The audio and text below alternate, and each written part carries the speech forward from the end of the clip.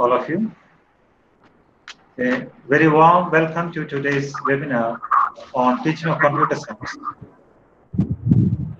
The last few decades, we, the humankind has made marvelous, tremendous progress, and uh, it's mainly, it can be mainly ascribed and attributed to the development in the area of computer science.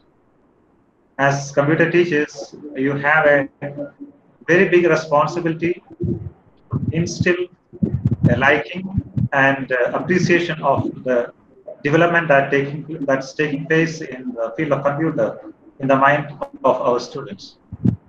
So we hope that today's webinar would be able to empower you for the, that. And uh, to start today's proceedings, I would like to request Father Regis Varghese, the principal of MGM High Secondary School, Bokaro, to accord a word of welcome. Good morning and warm greeting to one and all present here. I am being given the responsibility to welcome all of you attending this webinar. COVID-19 has ushered in setting a new normal from an abnormal lifestyle to a blended one as the coming reality. It has taught us to come together to relearn through collaborative effort. Today, we are dealing with one of the most important subject, cyber security and scratch. The free flow of information and overuse of technology is resulting into cyber crimes. The Scratch is a STEM-based programming language to teach computational thinking using a simple building block approach. Today, to deal with this subject, we have our resource person who is MCA from Charan Singh University, Meerut, and BEd from Jammu University. He is the one who is going to lead us today uh, in our webinar. He is an education, he is in the educational field for past 19 years as PGT Computer Science. Now he is associated with KIPS Learning Private Limited as a computer science content editor.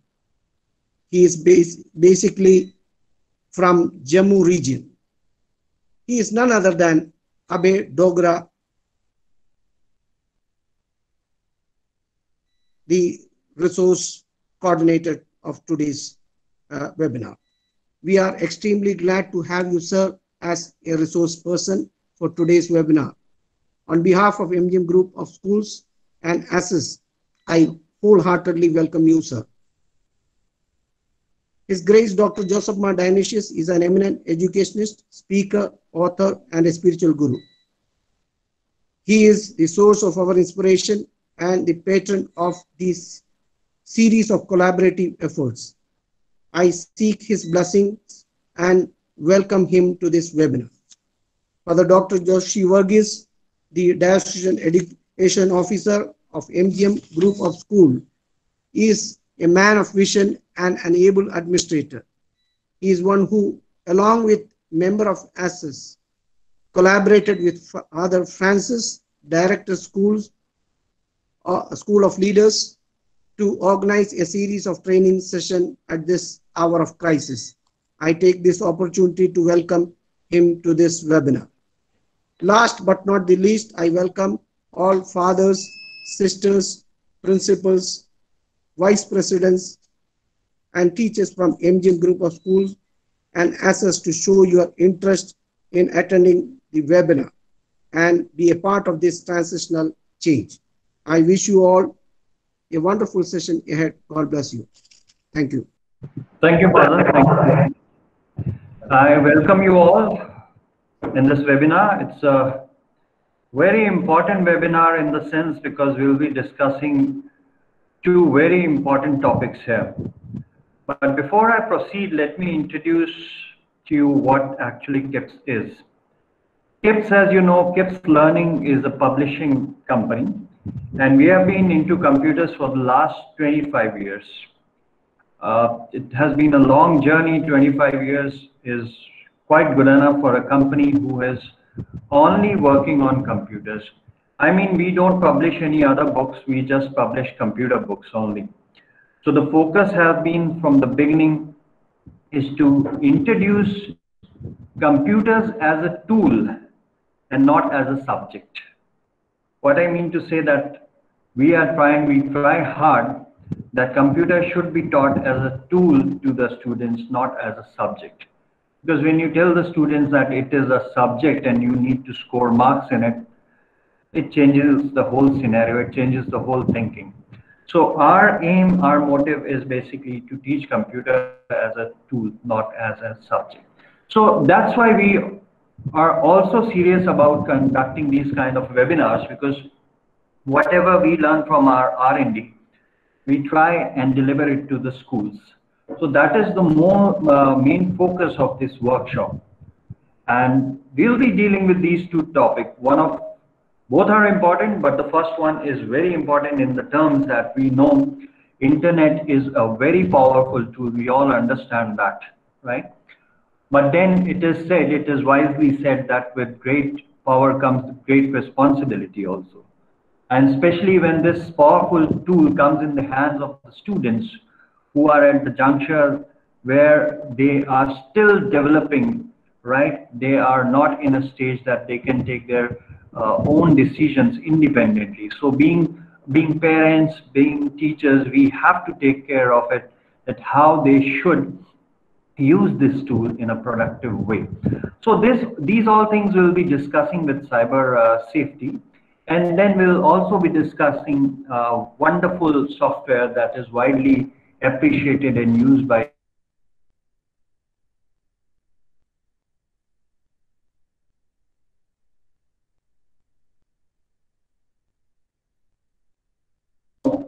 for students, sometimes it becomes quite difficult because programming, as we know, is not that easy. It makes you think, it makes, it challenges you, right? It is basically used for problem solving. And some of the students do feel that it is quite difficult. So to make programming easier for them, CBSE has inducted this software, wonderful software, Scratch. So we'll be discussing uh, different features of what Scratch is and how it is useful for the students. We'll be looking into different versions of Scratch, right? So this is the main, this will be the main focus or agenda of this webinar.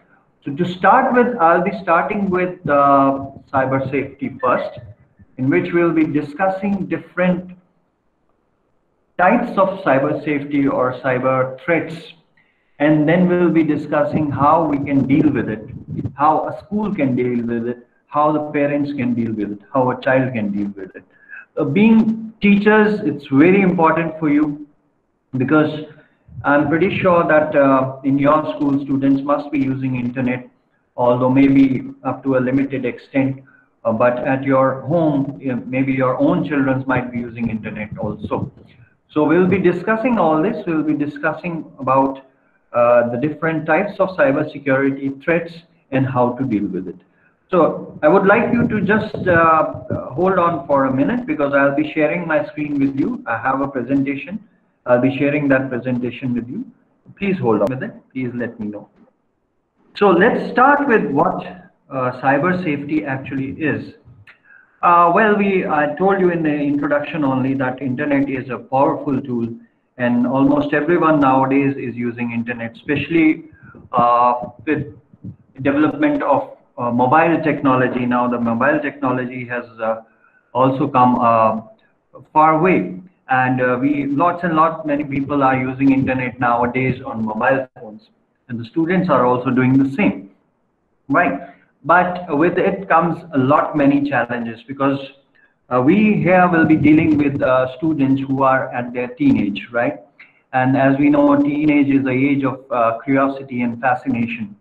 And since although internet i must say that uh, mobile phones are quite powerful tools, effective tools because now see that during the lockdown phase also we are using it for learning but when it comes to students uh, we need to we are little concerned we sometimes get little concerned uh, and we need to keep a check also as to what they are doing or what they are up to. So we'll be dealing now with the, the different cybersecurity uh, fields, and we'll be looking at the challenges that we might face because of it. So to start with, let's start with this small exercise here. You need to pick, I want the participation here. Uh, I want you to pick any first three technologies you feel that the students are using more often. They keep using any three technologies from this list. You need to uh, select any three technologies. Uh, any one of you can, uh, I would request Father Joshi if you can allow any one of uh, your teachers to uh, select uh, any three technologies out of the list and then we'll have a small discussion on it. What they feel, what they feel. They are typing in. They are typing in the chat box. Okay, so you need to, yeah, you, so some of you feel that Instagram is the first one and uh, YouTube, and then some of you are saying YouTube, Facebook, and Google. Okay, Instagram and YouTube, I can see a lot many people here have answered that most of the students, are students, are using uh, Instagram and YouTube. Uh, of course, that's true. That's true, but it totally depends on uh, different students. By I mean different uh, people and their priorities. But if you look into it, that most of our students are using social networking sites. And social networking sites, when we look at the social networking site, we feel that, okay, they are quite useful, but there are again few challenges, cyber security challenges related to using social networking websites. So in the next slide, we'll be discussing uh, a very important topic about perception, right? I have named it as police giri. Now this again uh, requires your participation, teachers participation, right? Now, we get, the students, they get lots and lots of friend requests, right? Social networking is full of friend requests. We all use Facebook, we use Instagram also. And we know that students and our children also they get a lot of friend requests. But the problem with the friend request is the first thing is if you are not sure about the person, if you do not know the person personally, right, and if that person is sending a request to you or to your child, how would you evaluate that whether we should accept this request or not? Whether the child should accept the request or the child should not accept the request. That is the main problem. That is the main concern. Now, if you are not with your child, if you are not with your student, most of the students accept the request in the sense that uh, in teenage, there, there is a lot of peer pressure because if you ever get a chance to listen to the students that how they you will often hear that they will say they will discuss the number of friends they have, right? It doesn't matter what kind of friends do they have, but mainly what they do is they discuss with each other, okay, okay I have these number of many uh, friends in my friend list and how many do you have? So there is always a kind of competition. There is always a kind of peer pressure among them that I should have more number of friends than the other student. Right. Now, in this case, what happened, the problem with this is most of the time they start accepting request of everyone, regardless of the point whether they know that person personally or not. So the first thing that you need to make your students, your children aware of is that while accepting the friend request, the first thing that you should see is whether you know this person personally or not. If if you don't, if your child doesn't know that person, but the person is known to you, is known to the parents, still it is okay to accept the request. But if the request has come from someone whom you or your child or your student doesn't know at all, then it's always better not to accept such kind of requests, right? This is the first thing that being a parent and being a teacher, you need to take care of it, right? Then you need to also look into the fake profiles. Now, this is a art. This is an art of detecting which profile is genuine and which profile is fake, right? It comes only from learning and we'll be discussing then this in the next slides that how we can detect which profile is fake and which profile is not fake. Well, I do have an exercise for you people, right, in which you'll be doing all this. But these two, as far as the social networking websites are concerned, these two points are very, very, and very important. The first is which request should be accepted and which one should be rejected. And the second is how to detect fake profiles, right? So now I have a small exercise here for you people. We know that being adults, uh, we are quite aware, we have the ability, we have the ability to detect, right? We have intuition to detect okay, who is not uh, a correct person and who is a correct person. We have this inbuilt intuition. Being humans, we have this inbuilt intuition, right? So I want you people to just look at these pictures and you need to tell me which one of these is a criminal. Just by, and then you have to give the reason also. And you have to give the reason also. Please have a good look at these profile pictures here. And you need to tell me which one of these can be or is a criminal. Not can be, is a criminal, right? And you need to tell the reason also. Now, uh, I want few participants for this because then only we can uh, solve this. Uh, because I won't be telling you, you have to use your own intuitions regarding this. And with every person you select or every picture you select, you need to uh, give a reason also. That why do you feel that this person is a criminal?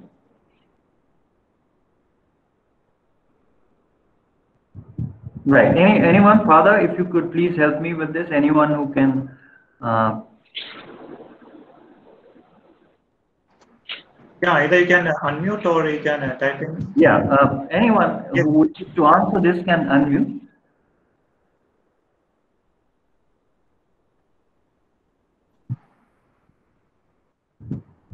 Sir. Yes. Welcome, ma'am. Welcome. Yes, please. Sir, good morning. Sir, the profile pic which is uh, of dog, uh, according to me, it should it will be fake because uh, he or she is hiding the identity. Okay. Okay. So uh, let me clear one thing with you here. In this slide, we are not detecting the fake profile. Uh, we what we are trying to do, we are trying to find out using our intuitions. We are trying to find out who is a criminal, right? Who is a criminal? Fake profiles will come afterwards, but in this slide, what we are trying to get is who is a criminal. I mean, you just have to look at their faces or maybe the expression or maybe if you are good at reading the eyes, you need to detect. Because being adults, the purpose of this is that being adults, we have very good intuition because with our experiences, we have learned that who among these can be criminal. So anyone else?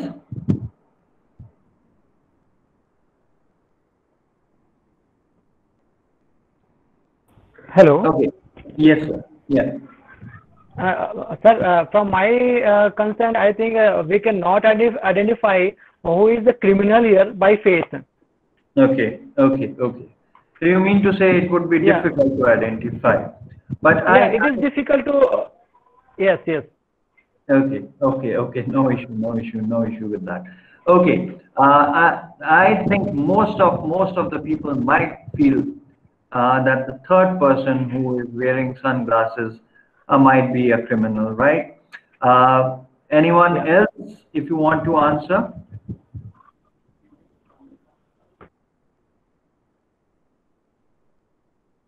Okay, what about the person uh, in the top row last? Last person in the top row. Okay, uh, let me solve it for you because uh, I wanted a participation in this because uh, that would have made things easier for me. But okay, I'll do it for you. Let's suppose I take uh, the third person on, on the top row because somehow I feel the facial expressions and the glasses he's wearing um, kind of overall uh, personality. It gives a uh, image that he can be a criminal, right? He might be having a criminal record. The same goes for the next person. But, but, here let me tell you the truth is that this old lady has a criminal record, right? I've taken it from the web and she had a criminal record uh, and that she was involved in uh, a school firing, right? Not uh, gun, gun shooting. She was involved in the gun shooting in America. Now, the purpose of this slide was that even we are, we people are adults, right? Our intuitions are strong, but still we also fail, right? We also fail in detecting that who among these is a criminal and who is not. But just imagine the teenagers, just imagine the teenagers, they have very less experience in their life, right? They, their intuitions are still developing. How they will be able to detect that who is good for them and who is not good for them.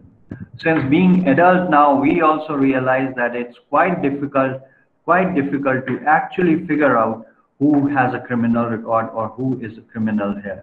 So just imagine about your students, this thing about your students, about your children, that for them, for them, how difficult it would be to detect that who is a right person for them and who is wrong. The same is for accepting the friend request. Just by looking at the pictures, just by looking at the pictures, you cannot say who is good and who is not good right? So it, this all comes with this all comes with lot of practice, right? So whenever your child or any student who is still in the school feels that he is getting or he or she is getting lots and lots of friend requests, then this is how you can suggest to them that just by looking at the pictures, don't go for it, right? Find out if you or your parent or anyone from your family knows that person or not. Right? If they know the person, then it's okay. If they do not know that person, do not accept any friend request from the strangers. Right? Uh, let's. This was about accepting request on social networking sites. I hope I've made this thing clear to you and what should be done if a child approaches to you, if your own child or maybe a student comes to you and asks you uh, what needs to be done if you are getting lots and lots of friend requests. So this is the uh, this is the suggestion you can give to the child. The another important uh, crime is cyberbullying.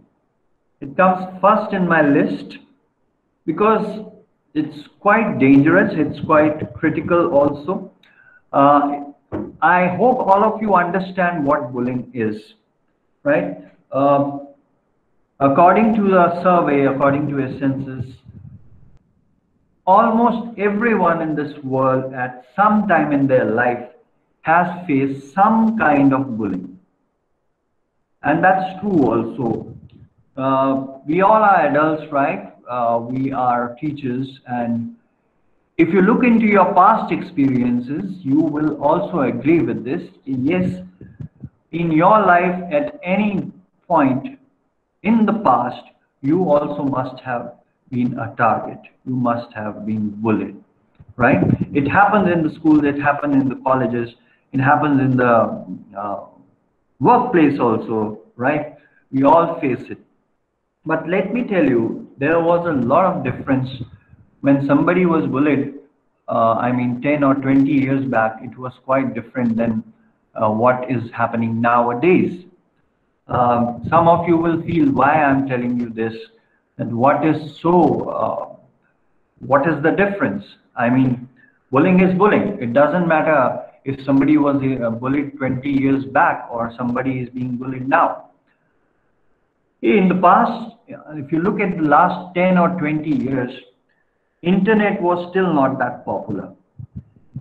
And let's take an example. If 20 years back, somebody in your class, maybe you were studying in a school then, was uh, experiencing any kind of bullying, then during during that incident, that incident might have been observed by some 20, 30 people, right? Roughly.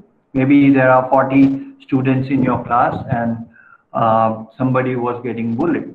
So just 20, 30 people saw that incident, right? And they discussed it and soon they forgot it. But now on social media, our students basically have hundreds and hundreds of friends. So if imagine a student is being bullied on the social networking site, almost all the 600 or 500 people who are in the friend list are observing that incident, right? They are reading post on that person's profile that, okay, this particular child is being bullied and this is what has been told to her, right? It, this can, bullying can be in the form of comments, right? It can be uh, in the form of like uh, disliking anything, or even they use emojis also to express their anger or maybe their frustration or anything. So what I mean to tell you that since internet and social networking websites have gained lot of, lots and lots of popularity, so any incident regarding bullying that happens to a child is known to some 500 or 600 odd people who are in the friend list of the child right? So there is now more and more pressure there is now more and more embarrassment for that child. I hope you all agree with this because uh, just now i told you some 10 20 years back this would have been a different story altogether. Maybe some 20 or 30 people might be knowing about that incident and soon they'll forget forget it right? But now since we are in the era of internet we are in the era of social networking if anything if bullying happens to a child everyone in the circle of that child or in the friend list gets to know about that and that causes a big embarrassment for the child who is bullied right? So i have few incident real life incidents here. Now this girl, Shavari Joshi, grade 7, uh, she was also bullied and she has had written this post. Now I would request all of you to, to just read this uh, so that you will get an idea that how serious it gets, right? Uh, she fought depression. She fought depression. She was in depression because of this, because of this cyberbullying. I hope we all know that how cyberbullying happens, right? When you post something, you get a lot of comments. Some of the comments are in favor, but there are many comments that will try to demoralize you, right? They would try to insult you in the form of writing comments or sometimes sending emojis. Now, for a child, it's very difficult to handle all these things. We also face all this, we also face all this, but uh, since we are grown up, we know how to handle it.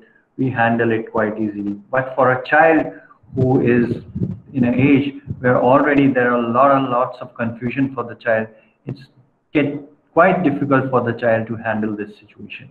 So uh, this girl says, I'll read it for you. Yes, I've been a cyberbully. I use the Facebook and Instagram social networking sites.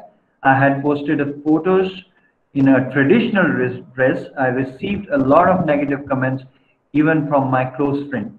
Many people posted comments saying that I am old-fashioned person. Some of my close friends said that they had thought I had a good taste in fashion, but now they realized that they had been wrong. I was very depressed, right? The first thing I did was I told my parents about this. Now, this is very important, very important thing for the parents and for the teachers.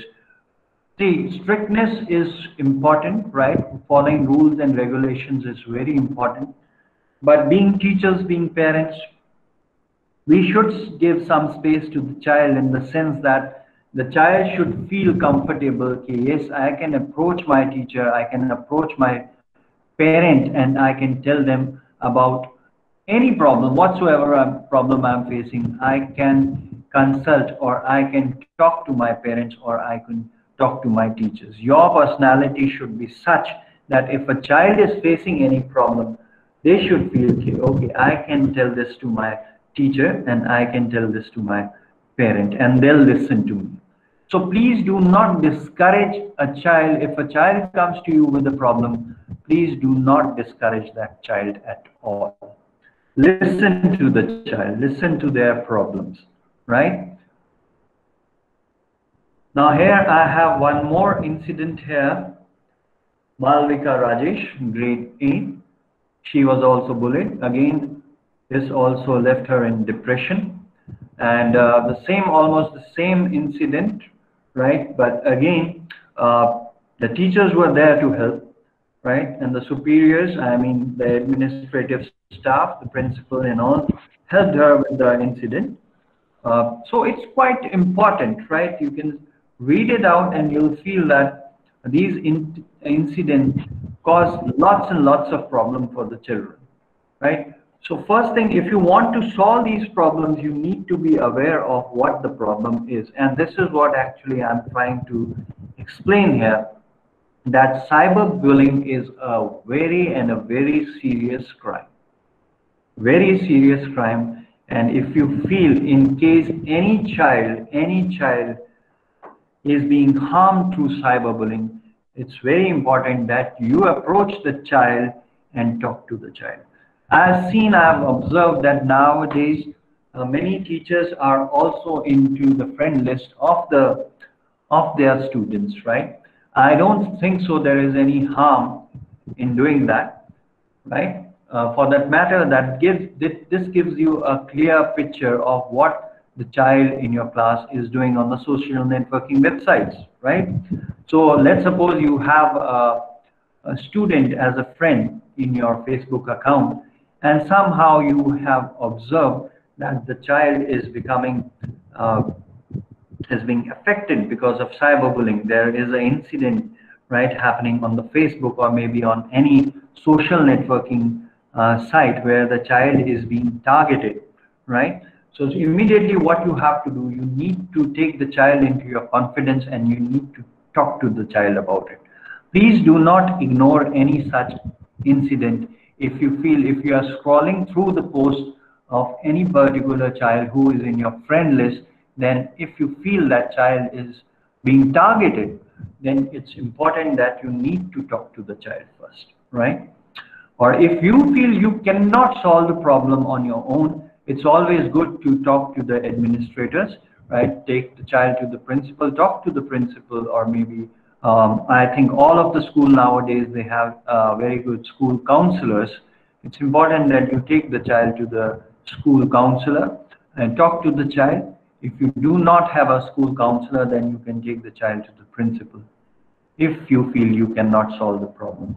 And if you feel that uh, the parents' involvement is also very, very important in these things because uh, there's hardly any case I think there's hardly any school in which students are uh, using social networking sites within the school. Most of the cases, these type of things happen when the students use internet or social networking site at their homes or maybe outside the school, right? Then it is always good to involve the parents also in this, right? And in case you feel any child is being targeted, immediately report it or maybe talk to the child. Then next is cyber stalking. Uh, well, uh, cyber stalking is a crime in the sense that Let's first of all understand what cyber stalking is. Now, cyber stalking is basically when you take, when a person follows you everywhere. Maybe he or she will follow you everywhere on the internet. If you have a account on Instagram, then that person is there. If on Facebook, then he or she is there. Snapchat, yes, of course, he or she is there. I won't say that following a person is cyber stalking. But if you are following that person everywhere and you are just putting up negative comments for that person everywhere on every social networking platform, then it becomes cyber stalking. Let me clear this once again that cyber stalking does not mean that a person is following you or is, a, is sending friend requests to you on every social networking platform. The problem comes when the person is following you everywhere and then is also posting negative remarks about you. Then it comes under the category of cyber stalking. Some of these comments are uh, quite offensive, they are quite serious, right? They are being de deliberately posted to put down your confidence or the confidence of the child. Then in that case, this becomes cyber stalking and it's a serious crime, let me tell you. Now again, the problem being grown-ups, we know how to deal with it. The best thing is, first of all, uh, avoid the people you don't know personally, right? Do not accept their friend request at all. But uh, I told you in the beginning only that children don't do it. They usually accept requests from everyone, feeling that it will be good for them if they have more and more number of friends uh, in their friend list, right? Because this is what they like. But in case, in case if you feel that a person, unwanted person is following the child everywhere in every account, then then uh, and uh, that person is also maybe uh, spreading rumors by putting up the comments or maybe trying to defame the child somehow or trying to put down the moral uh, sorry, confidence of the child, then in that case, this becomes crime, cyber stalking. And then again, the same thing you need to do is you need to uh, talk to the child about this. You need to, if you feel that the child is uh, not somehow feeling comfortable about it, then again, the school counselor is there. Now, if you have a school counselor in your school or group of schools, then I would suggest you that it's always good to keep a school counselor and the school counselor should know about cyber safety and the threats related to it. I mean, they should be trained about it, right? Then the school counselor can talk to the child. Then the principal is always there. And if you feel still the problem is not being solved, involve the parents, right? Have a meeting and uh, tell them about the incident, right? So I've already explained to you what actually cyber stalking is, right? Uh, now, sextortion is also a, a crime. Now, first of all, let's understand what it is, right?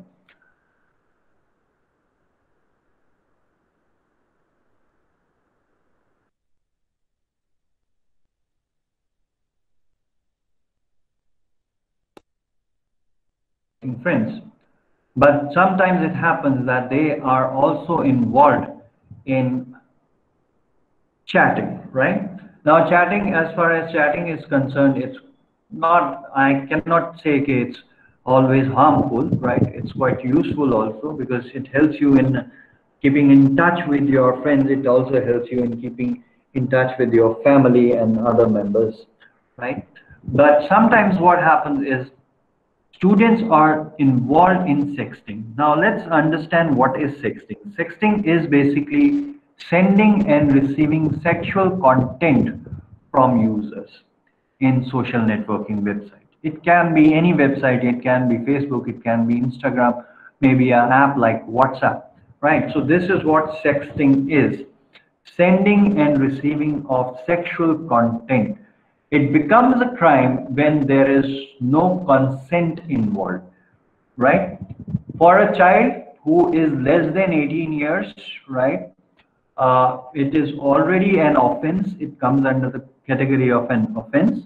But for adults also, let me tell you, if you are receiving any such content without your con consent on it, then also it becomes a crime. Let's say there are two person A and B. Now A is sexting to B, but B is not ready, he or she has not given the consent, then also it becomes a crime, right? So we'll be dealing with this topic now. Now you have understood what sex, sexting is basically and uh, why is it considered a threat for the child is basically what happens generally what they do is they first of all they keep sending and receiving uh, these kind of messages but then suddenly sometimes what happens is they start blackmailing each other for this. Maybe one student will blackmail or threaten the other student that if he or she may, um, will not favor the other person with maybe some money or anything like that or a gift then that person or will leak all the messages on the or will upload all the messages on the social networking websites so that the other students will also get to know that you were involved in sexting. Uh, and in return they blackmail the other child they blackmail the child or they ask for some favors that are quite difficult for the child right? Many of the students many of the students land into these situations. Now we need to take care of this. We need to see if a child is involved in sexting or not right now how to check that it's quite difficult to check right uh, but the main thing is you need to see when your child is using your mobile phone at what time of the day the child is using the mobile phone, right? And to whom the child is chatting. That's very important. You should, being a parent, or if uh, you are a teacher also, if you feel any of the student is involved in chatting most of the time, you should know that at what time the child is involved in chatting, right, makes use of the chat app, and to whom uh, he or she is talking to using the chatting apps. That's very important because sometimes we get complaints, being teacher, we may get complaints our child who keeps using mobile phone at night time, maybe after 12 also, doesn't sleep, right? Then it gets very important that you intervene and you ask the child that uh, what kind of uh, app they are using and to whom they are talking, right? Uh, I think the parent would be the best one to ask this because in some of the cases it happens that uh, they the students they give excuses okay i was talking to my classmate so in that case the parent what the parent can simply do is what they can do is they can simply ask the other parent right whether your child is also talking or chatting to my uh, child so just by talking to the other parents, the parent would get to know whether the child is talking to that particular child or is talking to someone else or chatting with someone else, right? So in any case, you have to make uh, a point here that you need to keep a check on the child that if the child is using the chatting apps, at what time they are doing it and to whom they are chatting, with whom they are chatting. That's very important. That's very important. Now, this is a data that shows that almost 70 lakh 50,000 people are looking for sex online with children. That, that this is quite dangerous. This is quite dangerous because many of the adults and fully grown up people are looking for sex online, especially with the children, right? And that's a quite quite a dangerous figure. Okay, so that's why it's important that you need to keep a check. Now, the check should be in such a way that you do not have to threaten the child all the time. And now technology has become so important that you cannot discourage the children all the time. You cannot tell them all the time, okay, no, don't use the mobile phone, don't use the internet. Uh, that you cannot stop them. But it's always important that you need an indirect check that what your child is doing. Indirect in the sense that uh, it will be good if you do not make the child uh, aware of it, that you are keeping a check on the child, right? But we as uh, grown-ups, we know how to track, how to track, how to uh, keep an eye on our, on our children, right? Now, but the problem doesn't stop here. It's not about uh, chatting, sexting, or maybe uh, social networking. There is another problem our children are facing, and it's very dangerous. That is playing games online. Playing games is not bad, right? But not bad in the sense that if they are playing games that help in their in the in the development of their brain, maybe a child likes to play chess or maybe he likes to play any other uh, games that involve uh, solving something, solving complex problems, then it's good, right? But there are few games that are quite dangerous and very dangerous for our children. So we'll be discussing these games and the students also like playing these games. They play these games without letting the parents or the teachers know about it. Because again, curiosity is the main uh, problem here. Because students at this juncture, they are very curious. They want to know everything all about that. What kind of game is it and uh, how to use it, right? Now, here is a game that became very popular among the teenagers and it was also banned in India and across the world. I hope you must have heard of this game. It was called Blue Whale, right? Where a challenge was thrown to the participants, mostly students or mostly teenagers, and they were told to perform a particular task. First, in the beginning, the task was quite easy. Then the level is raised to a level that in the end a child commits is forced to commit suicide right Uh, quite a dangerous. They lure the child into playing game. The tasks are very easy in the beginning right? Then they lay, raise the level. Let's suppose they'll tell the child to climb a wall which is four feet tall right? The child knows i can do it easily. So once the child clears one level they'll tell the child okay in the second level you have to climb a wall which is maybe 10 feet. The child does it and then they in the end they tell the child okay now climb the fourth floor of a building and jump from it. Right? These kind of incidents have happened right? And um, this is also this picture also a quite disturbing picture but i had to put this uh, because i want to show you the seriousness here. Okay. this is also a challenge given in this game to the students that you with a using a blade, you need to draw this in your arm. So quite risky because many of the students, many of the children have died because of this game. And thankfully, finally, the government took a decision uh, that this game has been banned. But here the purpose is to tell you that they are sometimes into playing these kind of dangerous games. Mind, these are some of the games uh, that are quite popular with the students, uh, with the children. Uh, please have a good look at it because if you feel that any child is playing uh, these games, you need to talk to that child, right?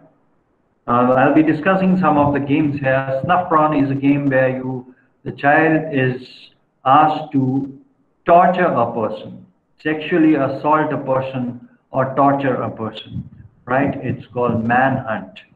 Uh, again, I'm showing you these games. It's uh, available on PlayStation because to make you aware that if you feel any child maybe at your home or maybe in your surrounding neighbors or maybe in the school is playing these games, then you need to talk to that child immediately, right? Now, uh, Bully is also a game uh, again, Xbox One, it's available. Now, although not an Indian version, but uh, it's very popular among the teenagers where uh, teenager is asked to bully everyone in the school, including the principal and the teachers, right? The first thing is they play it as a game, then it becomes a habit. I mean, they are shown an environment of a school where you where, where you are a character and then you have to bully everyone around you, right? You need to bully everyone around you, including your classmates, your teachers, and the principal and the management, everyone. Now, once this becomes a habit, they get addicted to the game, this becomes a habit. And you may never know that after learning all these things, bullying and all from the game, they also try to do it in the real life, right? So you need to take care of this. That uh, another quite uh, popular, very popular. In fact, I'll not say quite. It's very popular. Is Grand Theft Auto. Many students play it. Now this text that I had written here is very important. It will clear. It will clear. It will give you a clarity on how dangerous these games are, right? So here is an incident, real life incident that this young man named Polwat Chinno hailed from Bangkok. Uh, he was habitual, right? He was addicted to playing this game and just see what had happened to him in the real life. In 2008, a young man named Polwat Chinno hailed a Bangkok taxi and when it was time to pay for his ride, instead of paying for his ride, he pulled out a knife and stabbed the driver to death. Now, when the cops picked him up, Chinno blamed Grand Theft Auto for his violent actions, saying, Killing seemed easy in the game, and he needed the money to play it. Now, just imagine he was killing people, he was taking people under his car and everything in the game, right? So, up to the game level, it was okay, fine, it's a game. We can say that. But when the same thing, same thing is done, same action is performed in the real life scenario, then it becomes a crime. Now here in the game, he felt that since killing people seems so easy, so I can kill the people in real life scenarios also, right? So the, he felt that they will not feel any pain. Since people in game don't feel any pain, so same here, even if I stab someone, it won't hurt anyone. So they become so habitual, they become so addicted to the games that they fail to realize that there is a clear difference between a game and a real life scenario. So this is what this is what the consequences are. So we need to take care of this. We need to see that if any of the child is getting addicted, is playing these games more often, then again you need to counsel that child. Because otherwise, a stage will come where they'll fail to understand the clear difference between the gaming world and the real world. Right? Carmageddon, again, a game where you have to run uh, your car on the people. You have to kill as many as people by taking them or running over your car on them right? You have to crush people with the car. Now, this was uh, again, uh, they thought that it's quite funny, but it's quite addicted and uh, quite a dangerous game in the sense that uh, the teenagers, it's very popular among the teenagers where you have to click your picture, right? And for clicking the picture, the first thing that you need to do is you need to fall from anything, right? The picture should be such that in the picture you should be falling from something right it can be from uh, from the car it can be from the stairs or anything. Uh, quite dangerous because many students have got hurt while playing these games these kind of games. Uh, mainly two people are involved in this. The first one will fall from uh, anything any uh, building or anything uh, and the other person will take the picture right? So quite popular among the teenagers, but dangerous also because many incidents have happened where students were seriously injured. So what they do is they click the picture and post it on the web. this, so I think every one of you must be knowing it. PUBG, very popular nowadays, very popular nowadays, but it, it is creating a lot of problem. As you can see the text here, again, a real life incident I have put where a boy uh, played the game continuously for 45 days, right? And he suffered from serious neck pain and died in the hospital. right? He became so addicted to the games that he played the game for, I mean, 45 days straight away. And he suffered serious neck injuries because of this and died in the hospital. So again, the same problems. I showed you these games to make you aware that if you feel that any child is becoming addicted to these kind of games, then immediately counsel that child, talk to that child, involve the parents also. It's very important to involve the parents that the parents should also know, should be aware of because um, the tragedy, I, I won't say it's a kind of tragedy, but it's, it's an irony where uh, still there are families where the children are uh, technologically they are quite skilled. Technically they are quite skilled but the parents doesn't know anything about technology. And this is where the problem comes right? If a parent doesn't know about the technology then uh, the children they feel that I, we can fool the parents right? They won't get to know what we are actually doing. Whenever they are asked what they are doing for on the mobile phone why they keep sitting in the mobile on the uh, with the mobile phone or with their laptops on they'll also always give an excuse that i'm just studying or uh, i'm completing my project or anything like that. But we know it hardly happens sometimes. So it's very important that the parents also should be aware of what is going around. Uh, they should be aware of the technologies and being teachers also it is very important for you. Because if you will get to know okay, what are all the threats, then only you can safeguard the students, right? Another problem that many uh, students face is uh, if a teen does not get enough light, it's a social suicide. Now, teenagers, I told you in the very beginning, they are always uh, discussing this thing that if they're posting anything on the internet, how many likes they are getting. And the problem is likes is okay, but when they do not get sufficient likes or according to your uh, according to their choice, they feel that they are being isolated, they are being rejected, and it sometimes causes them to commit suicidal social suicides. And uh, parents are overwhelmed by technology. Another problem I told you just now they all parents also sometimes what they do is they keep using technology up to an extent that they forget their parental duties right uh, they are hardly aware of what their child is up to especially when they are using mobile phones or when they are using internet they themselves are engrossed so much engrossed in the technology while using mobile phones and internet that they forget to keep a check on their own children right?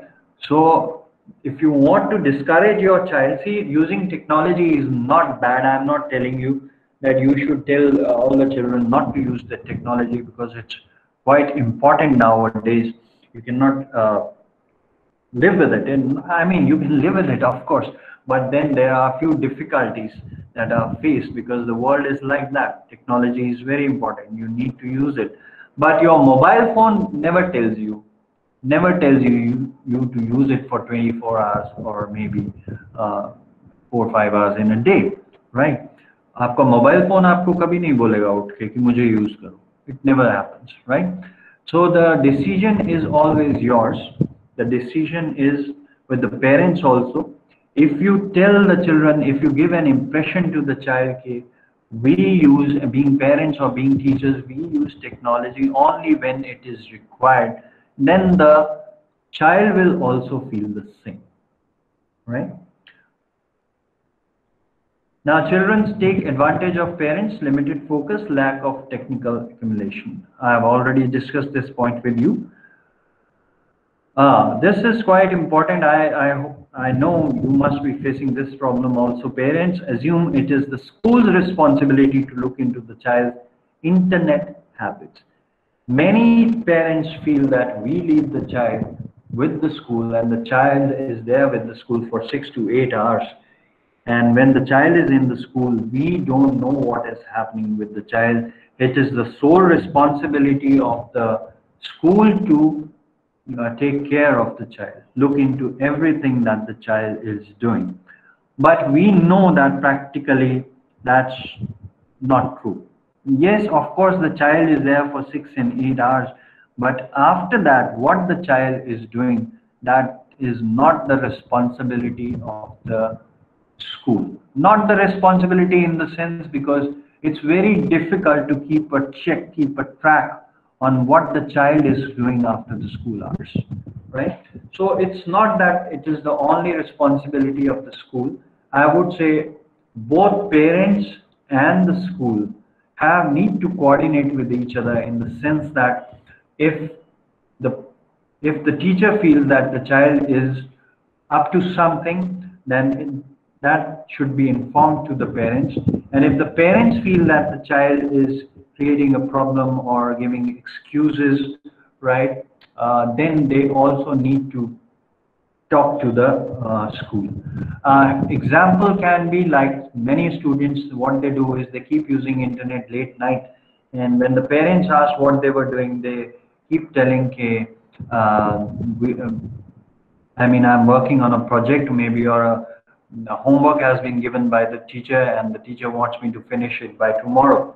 So I need to submit that, right? But if, if you feel your child is giving any such kind of excuse directly, what you can do is you can call up the school next day and you can ask the school teacher or maybe anyone, uh, the class teacher, that whether such kind of project or homework has been given by the teacher or not, right? So you'll get to uh, know uh, that what exactly is happening, why the child is uh, working with the computer late nights, right?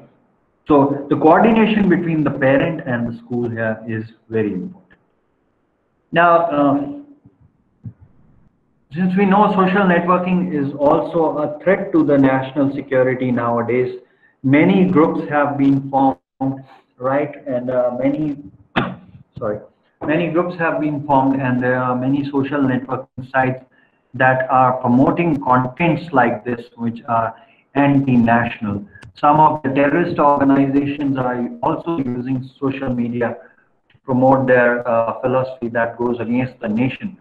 And you need to keep a check again here also that any child or maybe any uh, teenager or maybe any child from your home is not indulging or into all these things that uh, he or she has joined a group that is anti-national group, right?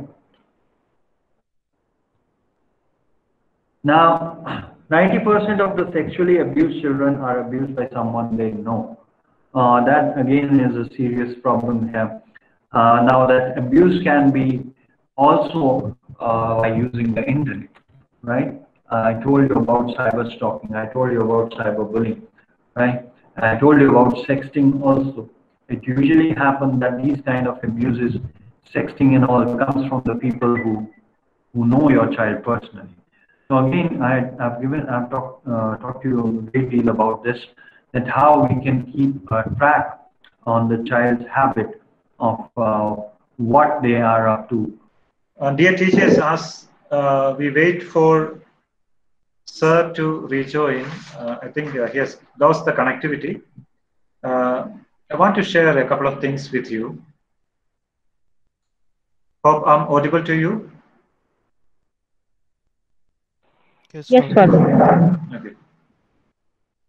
See, uh, while visiting the classes, uh, especially the computer classes, I have observed at least uh, in some of the schools, our priority, what's our priority while taking computer lessons? You can just type in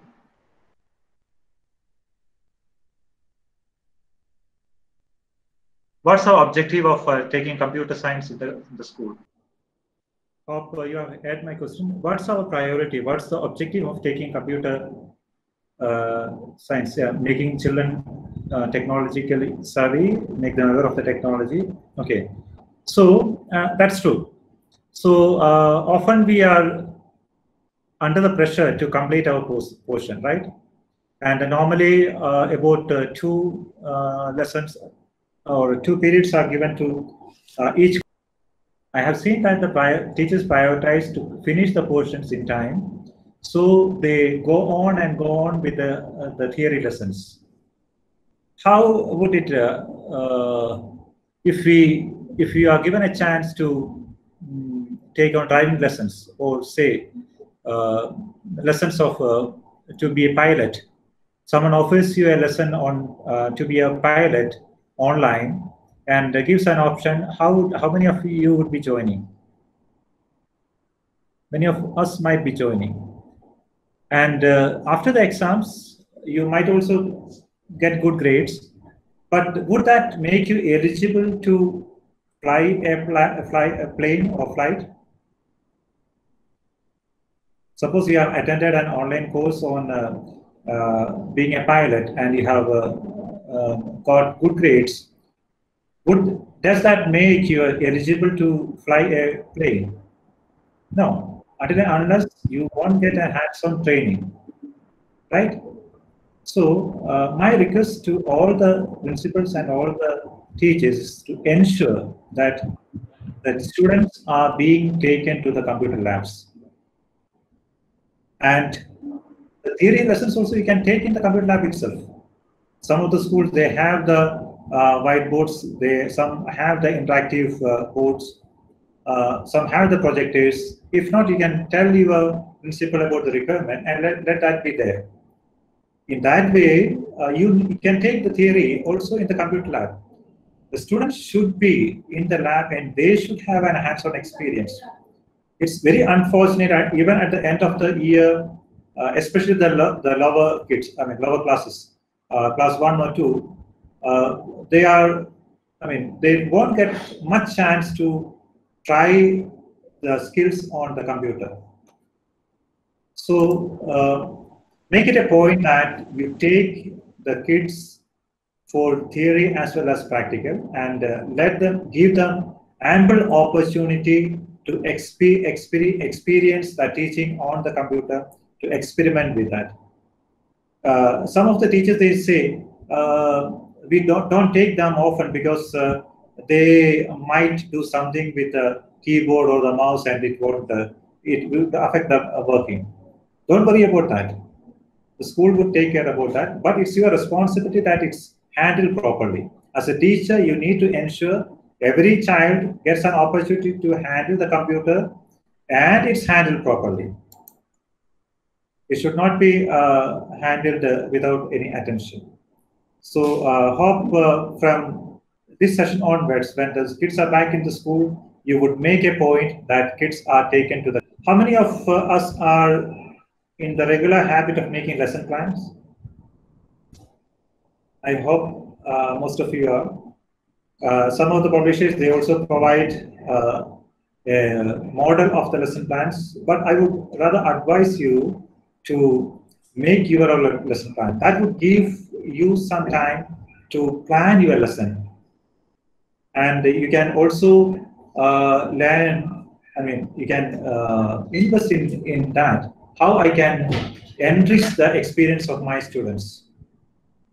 Instead of copying some something someone had uh, written somewhere you try to uh, invest your energy your passion your knowledge and your skills to make your class an impressive and effective one it teaches is not just about uh, attaining some marks or grades see after the exams after one year after a few months no one is going to ask a student how much mark did you get in computer class they would ask, are you able to do this? Are you able to uh, do this uh, in, uh, in the Excel? Or can you uh, make a document for me? Can you create a website? Because the, the students also uh, can take the skills to home and they can help their parents. They can, uh, in this age, go for artificial intelligence and other, lot, lot of avenues are there. So it's you who are there to build a platform for them it's not about the, grades or marks. It's important uh, while you make the progress report, but give more emphasis to hands-on training. And the proper lesson plans should be there, which would help you to ensure that you are in line. And also check with the lesson plan, are you going in accordance with the lesson plan? And while making lesson plan, uh, think about what's the objective of this particular lesson And uh, uh, some of, I mean, most of you have also got uh, BEd training, and uh, some of the computer teachers may not be uh, having that BEd experience, but I would rather advise uh, you not to jump into the lesson straight away. Uh, I've seen teachers in the classes uh, telling the Ah. student, open the book, page number so and so, Microsoft Windows or operating system. The child might be uh, hearing these words for the first time in their life. They may not be able to, they mi- might not be knowing about operating system or some other jargons that you are familiar with. We often, I have seen, we often deal with the students with an uh, understanding that what I know, they also know. They, they don't know about that. Uh, has joined, so uh, I would leave uh, Uh, we have an exercise here now. Now, there are a few pictures here given here, right? You need to identify which one of these is of cyberbullying, password spoofing. Cyberbullying, I have already told you what it is. You need to identify which one of these. So, uh, dear teachers, uh, we were discussing about uh, the importance of uh, taking students to the practical, I mean, to the computer lab to give them hands-on training. So, you have promised that uh, you would ensure to give uh, practical training along with, along with the theory. So, kindly uh, make that a point and follow it religiously. And the preparation that we need to make for the computer classes, like uh, making of uh, the lesson plan and other other preparations.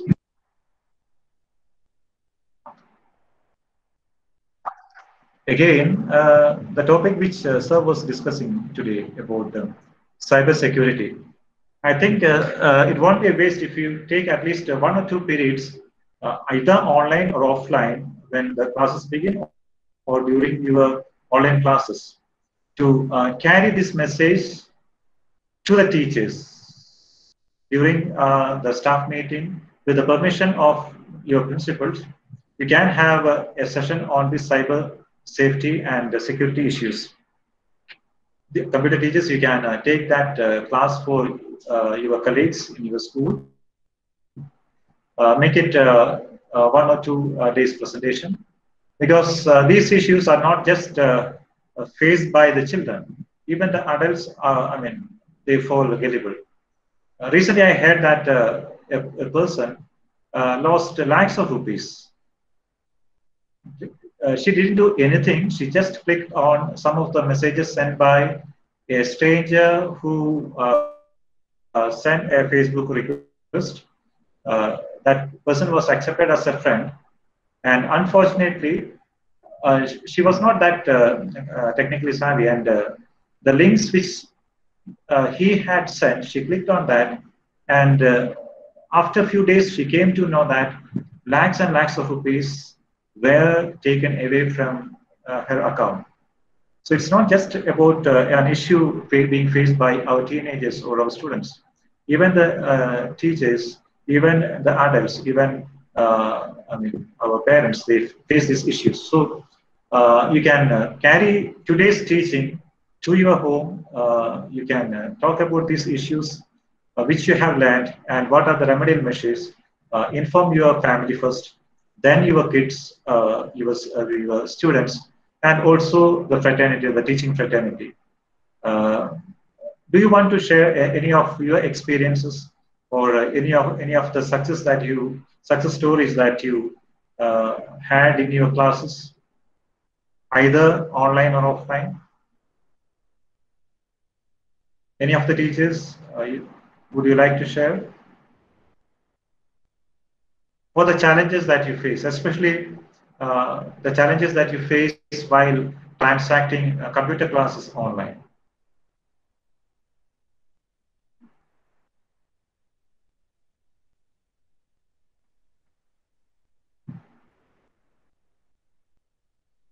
One of you can unmute and share your experience.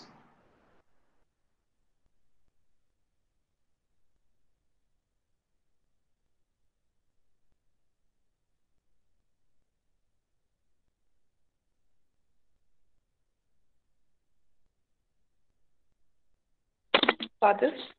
Good morning, Father. Sir, this is uh, this online security is a topic of study in class 11, both IP and CS. Yes, ma'am. What, what's the what's the problem? I told you this uh, cyber security and online access is a topic of study for class 11, both in CS and IP. Yeah, that's there. No, I was talking about. I mean, you can uh, give these lessons to all the students, even from cla- class one onwards. Not in the in the same way or the jargons that were used, but uh, in their own language. Uh, uh, you take these uh, lessons to the school to the students. Okay, Father, definitely. At this time, uh, you can also share your experiences. I mean, any of the teacher. Sir, good morning. Sir, am I audible? Yes, yes, Divya ma'am. Hello.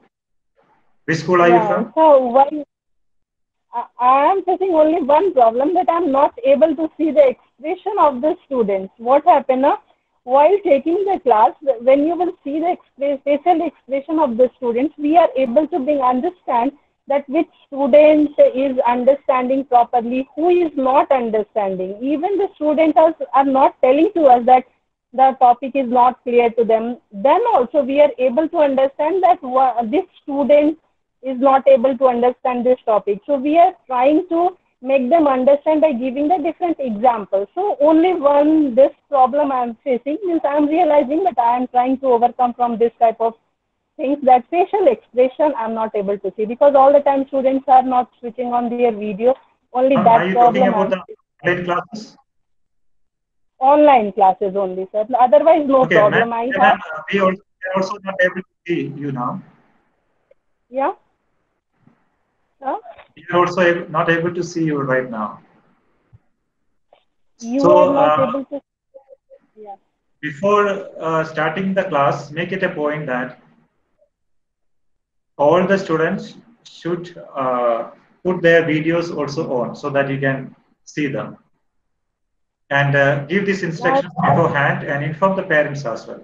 And tell them if it's not audible and it's not visible, uh, they might be removed from the class. I mean, the online session that that's taking place there. Sometimes what happens, sir, the connectivity problem or this type of problem coming, that's why they are not switching on video. But uh, that type of problem I'm over, trying to overcome from that. Uh, later on, I'm asking from them that if you have Okay. any Uh, problem. another solution, if you have band, bandwidth uh, problem, the uh, way we, try, we are trying here on the chat, they can reply. yeah, you yeah. can- Actually, sir, this If not anyone big issue. doesn't, We can.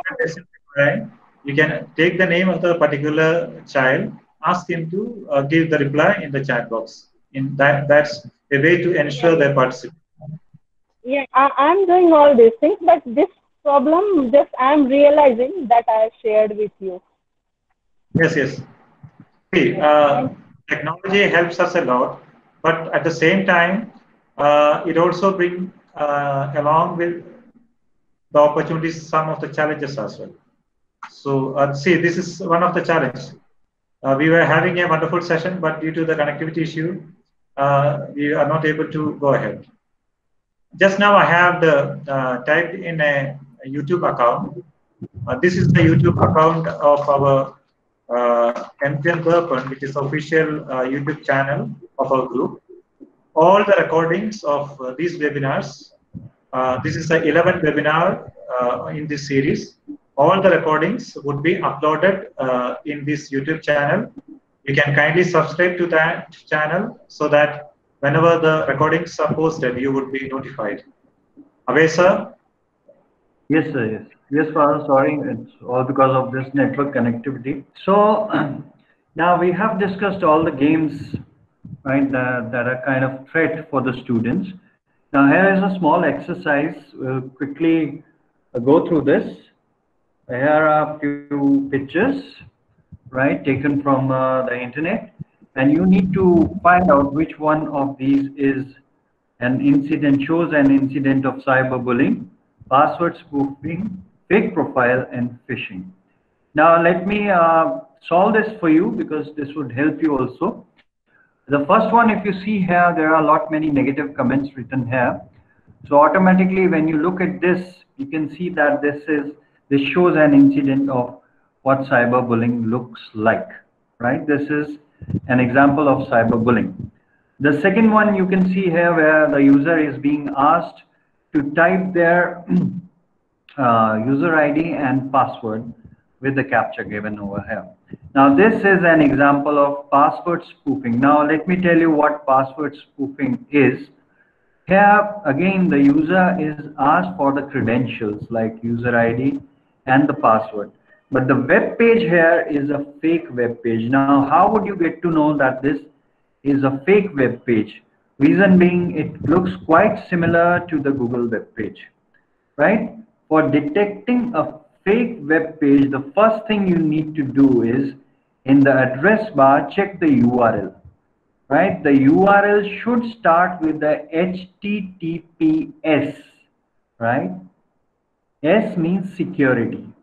So first thing, if you are using a secure site for any transaction or for sending messages, the first thing you need to check that that in the address bar, the URL must start with HTTPS. If it is a HTTP only or something else, then you need to check whether you should add your credentials or you should not. Uh, in fact, I would suggest that you should not submit your credential in these kind of websites that do not have HTTPS protocol, right? The third one here is a fake profile. We all know Julia Roberts. Uh, and if you look at this picture here, this is not the picture of Julia Roberts here. So from just by looking at the picture and the information given, given here, if you feel that there is anything fishy about it, now here the text might be showing that it belongs to Julia Roberts, whereas the picture Uh, on the profile is not of Julia Roberts. So you can see here this is a fake profile. And then we have an incident of phishing here shown here, picture four, which show that if you fill in your password details or credentials, you will be given access to Netflix, right, 24-7, which we know that is not possible because Netflix does not give any such kind of offers to its customers. So this is how you can detect different kind of crimes related to cyber safety, right? Uh, the first thing is you need to understand what these things are. What is cyberbullying? What is password spoofing? What is um, your um, uh, this uh, stalking also, cyber stalking also, phishing also. Once you are aware of it, then just by looking at these kind of incidents on the web, you will get to know okay, what is wrong for this child and what is good for the child right? If only the teachers are aware or the parents are aware then they would be able to tell it or uh, make the students understand about the threats right on the internet. Now here is a small link. Uh, you can explore this this is about the cybercrime laws in india let me tell you in the year 2000 government of india has passed a law where cybercrime is also considered as a criminal offense, right? Gone are the days when before 2000 you can do anything on the on the web. You can send any kind of message. You can do cyber stalking. You can do cyber bullying. There was no problem with it because the police had no law enforcement related to it, right? So the police was helpless in those cases earlier on. But now we have a strong, in India, we have very strong cyber laws. You can go to this link and you can see this video given here. The link is given here and you can understand that what cyber crimes are. The punishments are different. Most of the time, the punishment is basically two years of imprisonment and depending upon the seriousness of crime, the fine can be up to 2 lakhs and more than that, right? Now, how we can help the students, especially those who, who are addicted to these type of games and these type of websites.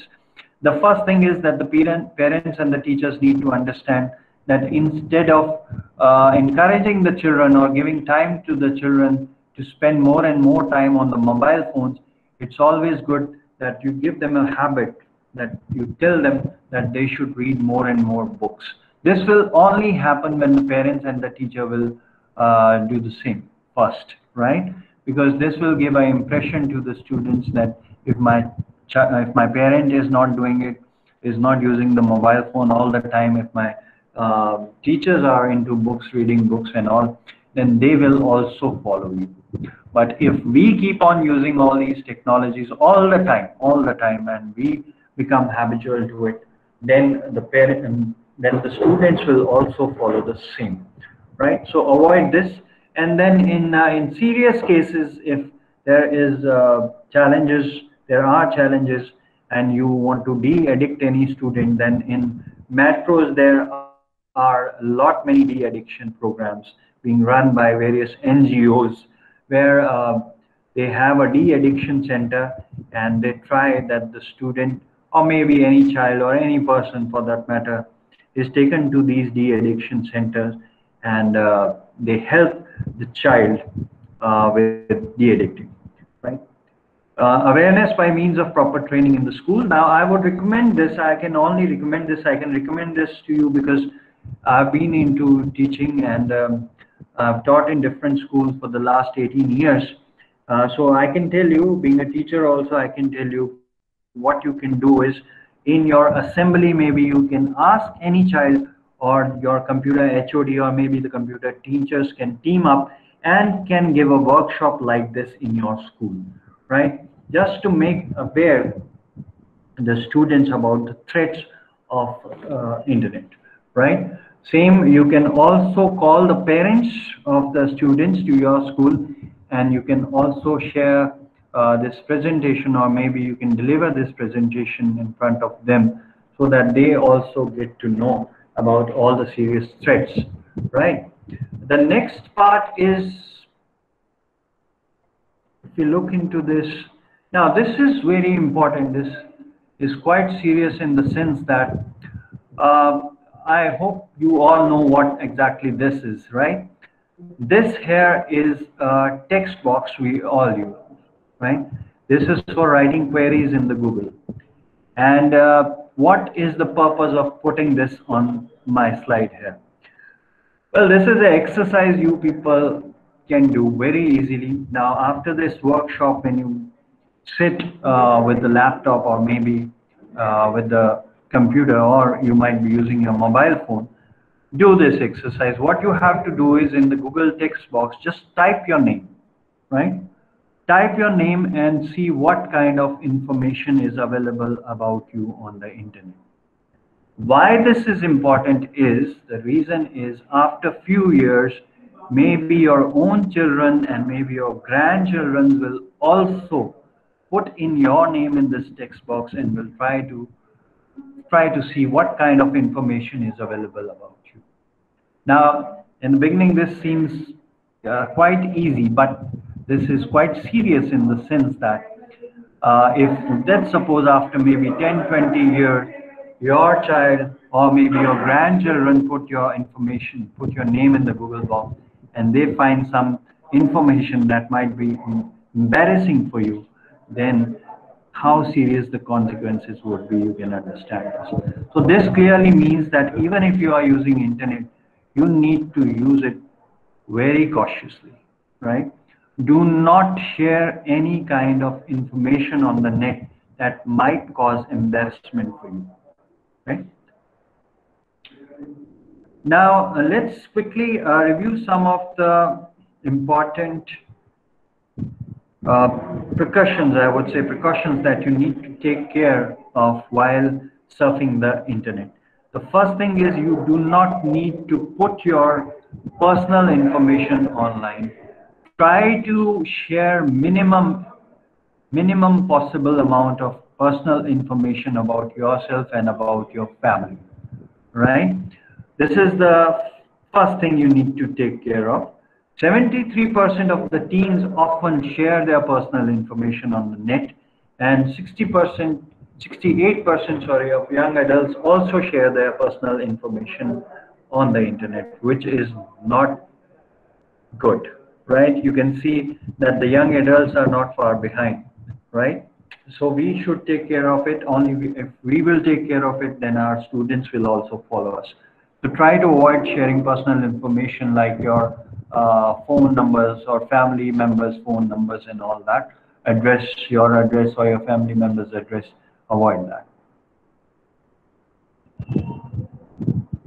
Phone safety nowadays we are using phone for everything for every little transaction we are using uh, phones nowadays right? Which is um, has become a very important tool in our day-to-day life. Some of us are also using it for storing our personal information personal pictures we are also using it for uh, various transactions related to the bank so first thing that you need to do is you need to take care of your phone security, right? Uh, put a good pin, a pin that cannot be guessed, or a pin uh, maybe a, if you have a good phone, phone uh, face detection is also very useful. A pattern lock is also very useful. This is the first thing you need to take care of, right? Now tell the students nothing is free. Nothing is free in this world, especially on the internet. If anybody tells the child that I'll be giving you free uh, services for uh, if you give me that or anything for that matter the child is asked for tell the students make it clear in their mind that nothing is free on the web right although many companies many uh, organizations do offer free services but these organizations and companies are very popular. Like if uh, maybe facebook comes up with an idea of a free service we know, all know facebook very well. But if a new website that has not been used by many people comes up with the idea that we give free, these free things to this uh, to the children right? If the children give us this or that. So that is not a good idea. Make the students aware of it that nothing is free now uh, this is quite important what if your account is hacked by any chance then the first thing you need to do is the very first thing you need to do is inform everyone in your group that your account has been hacked. Now, how would you get to know that your account is being hacked? You won't be able to log in, right, using your credentials. Credential here means the user ID and password. If you feel you have not forgotten your uh, email ID and password, it is correct. And still you are unable to log in after trying again and again, so there is every possible chance that your account is hacked. And if somebody has hacked your account, then it is also possible that the other person is using your account for um, sharing uh, information, your rumors against you, or maybe sharing uh, offensive comments or pictures that are that won't be liked by others. So the first thing you can do in this case, if you feel your account is hacked, immediately inform, try to inform all the people that are in your friend list by some other means. Maybe you can call them, maybe you can use the WhatsApp and immediately inform that that your account is hacked and whatever information maybe they are receiving from their from this account does not belongs to you since your account has been hacked. This is the first thing you can do. Password, making good password is very important, very, very crucial. The password should, should be such that it should not be predictable. It should be unpredictable. And one more thing is important that do not try to make passwords that are so complex that you on your own forget it, right? So password should be such, it should be easy to remember, and then of course it should be unpredictable. So sometimes people keep passwords like this also. They do it, let me tell you seriously. Some of the people uh, use passwords like these. These are not recommended at all. I told you the password should be such. Yes, it should be easy so that you can remember it quite easily. And uh, it should not be such that anyone can guess it and then your account will be hacked. Two-step verification is very important. Google makes use of it. If you go to Gmail settings, you'll find this uh, two-step verification where you are asked to enter OTP also, right? Password and then a OTP also.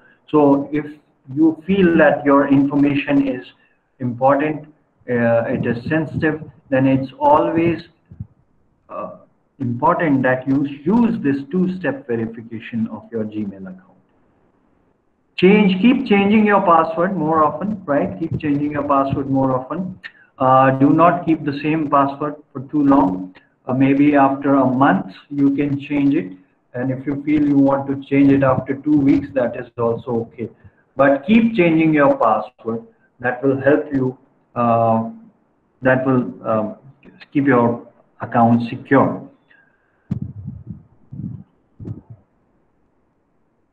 Now, if you feel that your account, from your account, somebody has sent a phishing uh, link, maybe your friend calls you back and tells you that he or she has received a phishing link. Phishing, I hope you understand, where a mail is sent to uh, somebody asking for money. Uh, maybe you might have got some mails stating that you have a, won a lottery of many million dollars and in return uh, you have to pay this much of money. These are examples of phishing.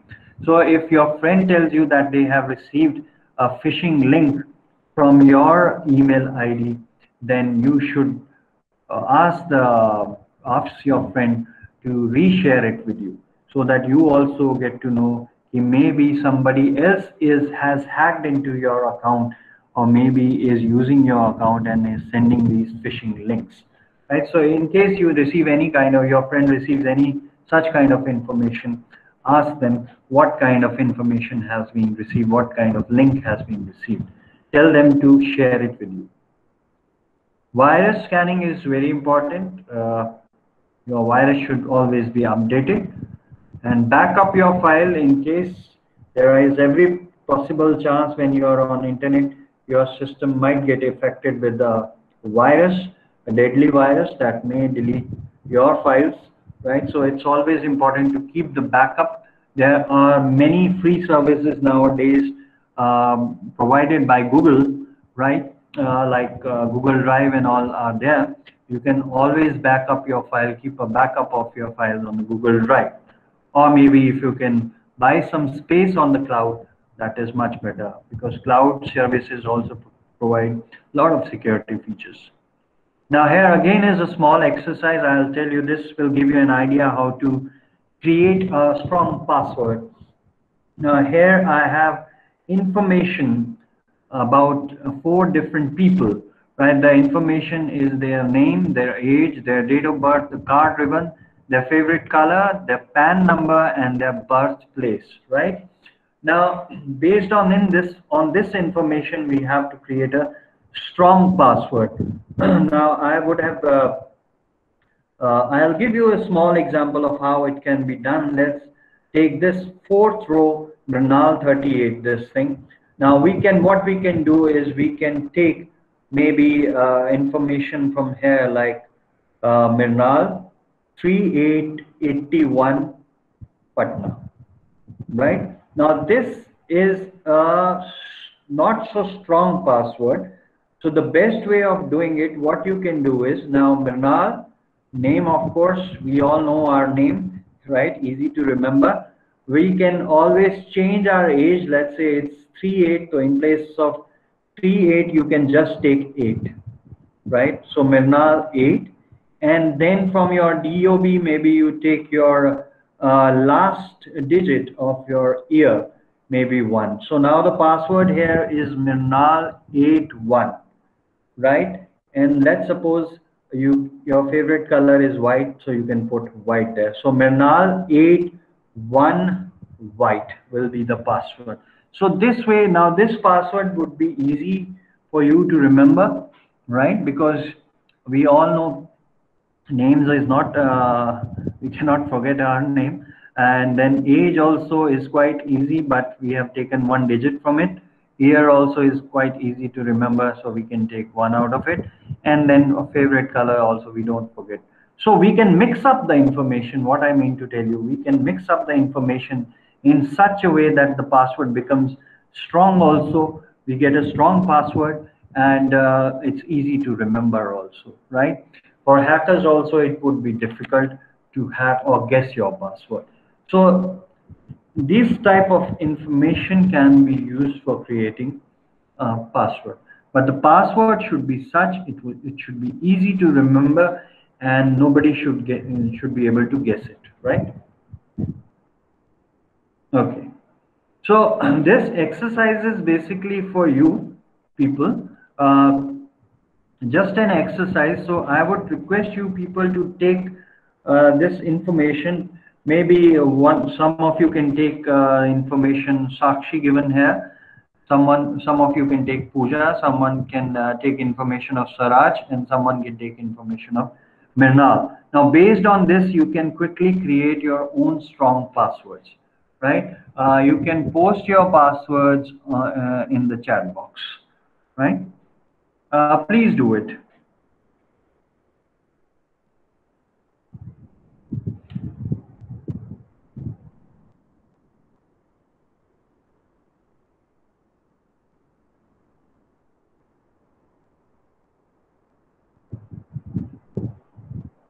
Yeah, I got one that's uh, Sakshi 60W. So similarly, same way, uh, Priya ma'am has done it. Uh, same way you people can post it quickly.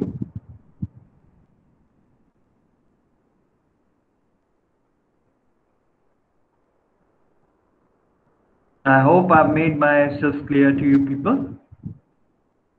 Yeah, got few more. P0084RED, yes, quite good. JA San, Santro 37, yes.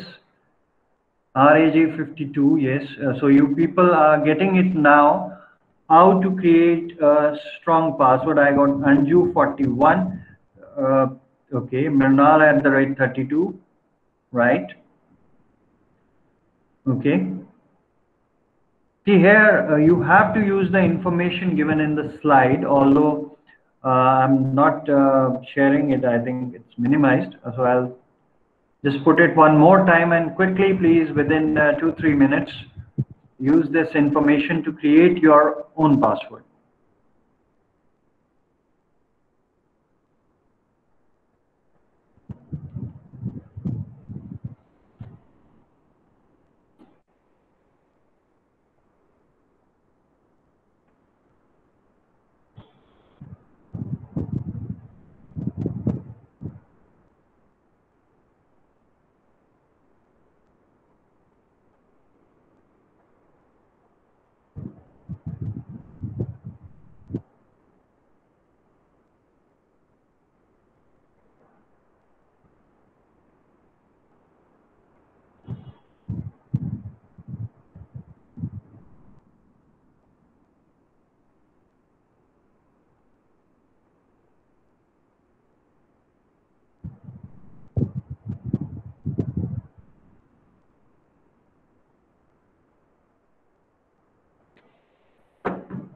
I hope all of you must have uh, made it. We're scrolling down to the comments. Yeah. Okay. Sakshi Sak at the rate 166. Okay. Swaraj 25 black. Right. Right.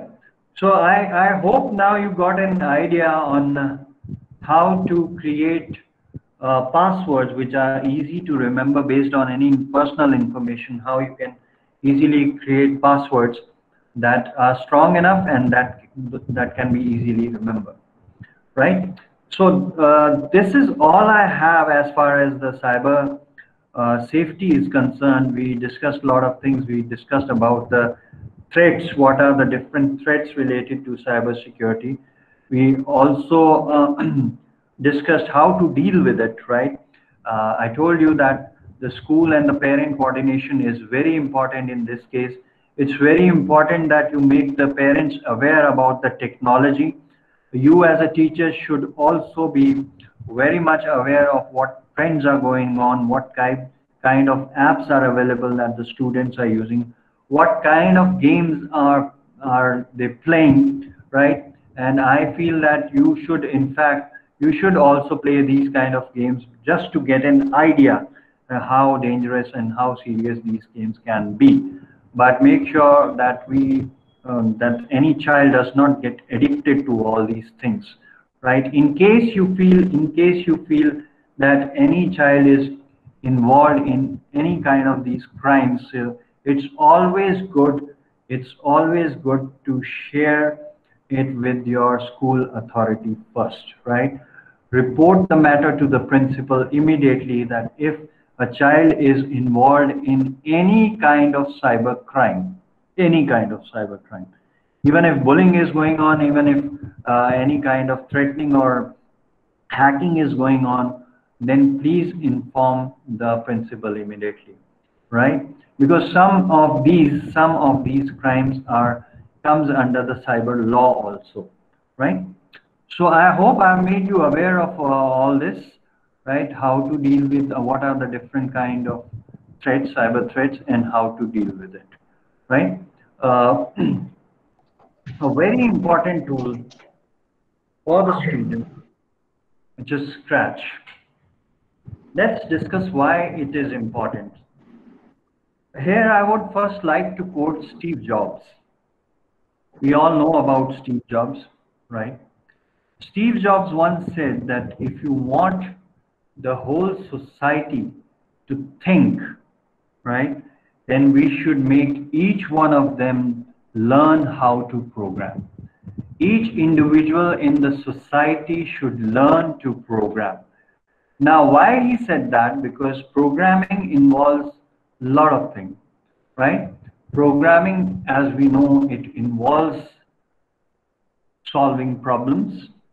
It involves analyzing a problem, right? It involves creativity as to how a problem should be solved quickly. So it means that if a child or if a person is learning how to program, in return, the child is also learning how to solve complex problems in the real life, right? The child is also learning how to analyze a problem properly, and the child is also learning how to solve a problem problem with creativity, right? So the, these three things a child is learning from programming. So that's why learning programming is very important. And this is the reason why CBSE has inducted a software like Scratch in its curriculum. This is the main reason because they want the students to learn programming quickly and effectively for the reason which I have already told you that this will help the children in learning how to solve problems with creativity and how to analyze problems. Now, why Scratch? Because we, there are a lot many programming languages. Python is already there in CBSE. ICSE has uh, Java. We have other options also. CB, Uh, C and C++ language is also there. But why they opted for Scratch? The reason is because CBSE wants that programming should start at the junior level only. Now, if you tell a fourth or fifth class student to learn C or C++, that would be quite difficult for the children. So it's always good that we start with something that that generates interest among the students also. They learn it right easily and they also learn the technique of how to program. So Scratch provides all these things to the student. It tells the student if a student learns to program through Scratch, the student gets to know about what programming is. The child is learning programming while creating different games because we know that uh, children are fascinated with games, right? So they learn uh, to make games in Scratch, right? They make projects like this, uh, share animation projects. They also create animation projects in which they create stories and all, right? So they are now creating fun projects. So with all this, they are also learning the basic concepts of programming. So that's why I know that, and I'm sure uh, students in your school also must be showing a lot of interest in learning Scratch. Well, these are the reasons. This is the basic reason why it is so popular. Because on one hand, the child gets to make wonderful projects like storytelling, uh, and games and all. and the, on the other hand, the child is also learning about how to program, right? So let's start with the contents. We have introduction, we have history, we have objectives and explanation. Some bibliography is also there. So let's start with what Scratch actually is. We all know Scratch is a visual programming environment. Now let me first make this clear to you what visual programming environment is those of you if you have ever used python or you might be teaching in your school python uh, now this programming language python. In this you make a program simply by writing the commands in the interactive mode or in the script mode right? There are no characters animated characters. There are no buttons there. There are no menus there. There is no drag and drop facility right? But in a visual programming environment, functions like buttons, uh, menus, uh, drag and drop, clicking, everything is there in the visual programming environment. So this visual programming environment basically gives a very good, a clear picture to the student that what all things are involved in making a program, right? I feel personally, I feel that writing text commands for the student and learning text commands for the student is quite difficult. But if you put all these commands in a way that uh, they are presented in a visual form to the student, they feel lots and lot of interest related to the uh, language. And one such uh, programming language is Scratch. Now here, let me make it clear to you that we cannot or we can never compare Scratch with programming languages like C, C++, and Python. For the reason that C, C++, Python, and Java are also used for serious level of uh, application development, software development, website development. Scratch is only here for making the students learn how to use programming tools, right? it's for learning scratch is only for learning we cannot create um, serious level of programs out of it. I mean uh, you cannot sell uh, scratch programs to another company maybe or you cannot create a website out of it. That's not possible. But yes uh, small programs small projects can be made out of it. And uh, they are this is called a visual programming environment for the reason that lots of menus and lots of buttons and drag and drop facility and click uh, clicking facility action related events are available on this right? Now this is basically the history of the scratch language right? It all started in 2003 Mitchel Resnick is basically regarded as the founder. He developed this language in the MIT Media Lab. And the first version was released in 2006. Later on, uh, this, this version was available to the public in 2007. The first version was Scratch 1.0 and now we have Scratch 3 and now Scratch is basically uh, overtaken by Microsoft. Now earlier, uh, Mr. Resnick had developed this. Now Scratch has purchased the license, uh, sorry, Microsoft has purchased the full license of Scratch. Now they are distributing this language, Scratch language, on their official web page. Uh, and there is a Microsoft Store also. Scratch is also available on the Microsoft Store. So you can either download it from the Scratch website or you can download it from the Microsoft Store, right? Now, what are the objectives, primary objectives, right? for Scratch. Now, first thing is I told you in the beginning only, it helps the student in learning what visual programming environment is. The students get to know how they can interact with various programming tools and these tools are made available to the student in visual form, right? now, intro to programming with multimedia. This is a wonderful concept and helping the students in learning programming very quickly because students take a lot of interest in multimedia, multimedia in the sense in graphics, in animation, in sounds.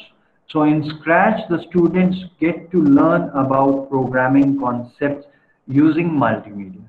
So students take, this is the reason why students take more and more interest in learning Scratch as compared to other programming languages. Because much, much and much multimedia is available for them to explore, right? What they can do with Scratch is they can uh, create storytelling, music making, they can make games also. What they learn in programming is they learn about concepts like objects and attributes. This concept is widely used in different languages like C++ and Java. Those of you know C++ and Java, um, they know very well what objects and attributes are. So Scratch gives them a introduction to the students that what objects and attributes are using different animation characters like sprites. Uh, sequence and repetition. Sequence we all know in programming, all the statements are executed one by one in a sequence, right? The same is with Scratch. In Scratch, we keep different blocks one after other, and these blocks are executed in a sequence. So now the child here is learning that, okay, in programming, we write instructions, we write commands, and these commands are executed in a sequence one by one. Repetition is all about looping. Those who are into programming, they know it well what looping is, executing a statement again and again. So the same concept is learned by the child in Scratch. We, those who have a little exposure to Scratch, they know that uh, block name forever. Forever is used in Scratch for running the loops, executing the loops. And then of course we have conditions. No programming language is complete without conditions, if else statements. So the same blocks are introduced in Scratch to help you, to help the student understand what conditional programming is. Event-driven programming is very important. Event-driven programming means that if you click on a particular button or a menu, then what will happen? So event-driven programming deals with this, that if an action is performed by the user, let's say, click on a button, then what will happen? So same thing is learned by the student in Scratch. They learn about event-driven programming or how it works using different blocks. Input, output, no programming languages languages complete with the input output operation so in Scratch also we learn how to take inputs and we learn how to take the outputs. Now these were the primary objectives. Now let's talk about the secondary objectives. Uh, increase student skill with the computers. In Scratch we know we make use of a mouse, right? A left mouse button, uh, right mouse button, double click, single click, we drag and we drop, right? We do lot many things with Scratch. So basically, when they are using Scratch, their um, computer skills are also improving. Since they are making use of the mouse, they are making use of the keyboard, right? So their computer skills indirectly are also improving when they are using the Scratch. Increase student interest in programming? Yes, of course. I told you because Scratch is basically used for teaching programming. And here Programming is taught to the students in a visual format, right? They interact with various Uh, sprites, animation characters given in Scratch. They deal with various blocks that are available to them in different colors, right? And moreover, in Scratch, they can also make fun projects like they can create their own games. They can create their own animation-based stories. So this is the reason the students take more and more interest in learning Scratch because once they get an idea that using programming we are making such wonderful projects like we are making our own games we are making our own animations right so they know they get an idea okay using programming we can do this then if we learn more about programming we'll be able to do much more better than this than what we have learned right now so it basically creates an interest among the students about programming. Fun projects, I have already told you. Uh, they also learn about basic mathematics also while using Scratch. They learn about Cartesian coordinates, X and Y, we know that. Distance computation is also learned by the students. Those who have used Scratch, they, uh, they must be knowing it that you need to specify the size of the sprite, the movement, the degree of the sprite, right? Uh, we also change, yes, we also change the degree of the sprite. So the child is also learning about some fundamentals of mathematics. Yeah. So these are the websites from where you can download Scratch version. Uh, we can also add Microsoft Store here. You can log in to the Microsoft Store using your Microsoft account and from there also you can download the latest version of Scratch, right? Uh, let's talk about, quickly talk about the major components of Scratch. And we all know that the most important component is the sprite. It is basically an animation uh, character, a picture that can be animated, right? Students love to use more and more uh, sprite.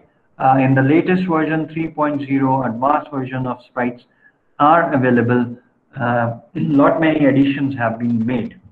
And blocks. Blocks are quite important in the sense that programming is done with blocks only.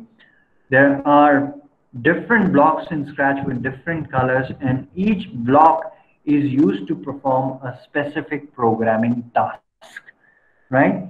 Now here what we can say is like in Python we write different commands. So instead of writing the commands now, we here in Scratch students make use of blocks. So commands are in text form and blocks are in graphic form, right? So this is the reason why they take more and more interest in uh, programming. Now, uh, these are some of the blocks given here. You can see the motion block, the looks block, the sound block, and the pen block. Each block has uh, different categories and each block performs a different function. The motion blocks we know controls the motion of the sprite like within the stage area where the sprite will move or what if the sprite touches the x-axis or y-axis. Same is for changing the looks of the sprite. We have the looks block. Same for adding some sound to the uh, to the uh, sprites or the animation. We have the sound block. And pen block we know it's used for drawing. Now I'll take you to uh, one important uh, slide. Just give me a second. Yeah.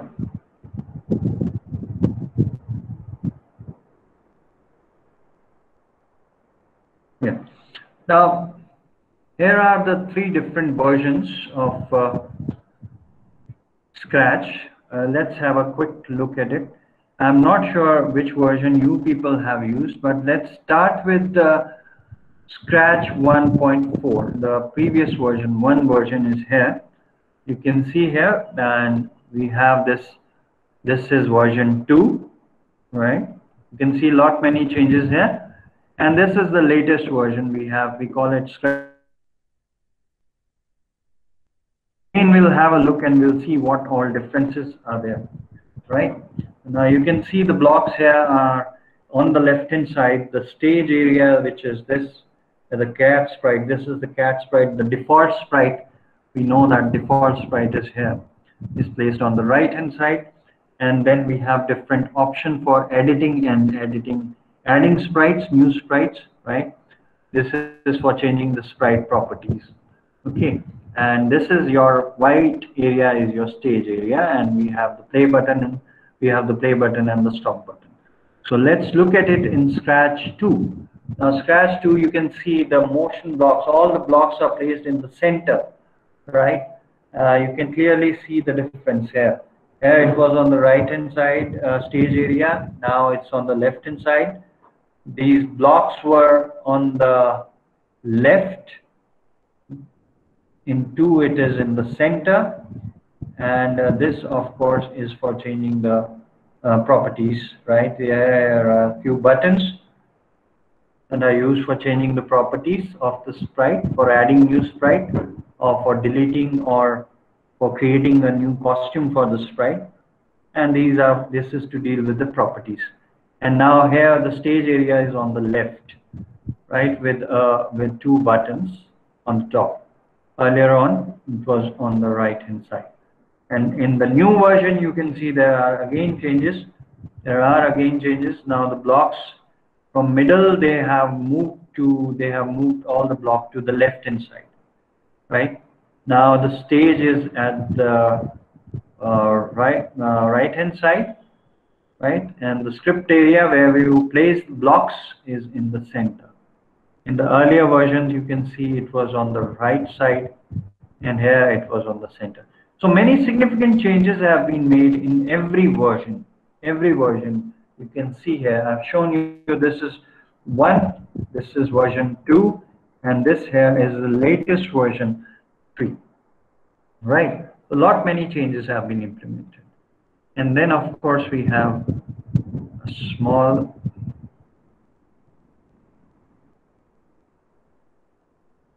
okay. slide here where I hope uh, this is a small exercise for you people.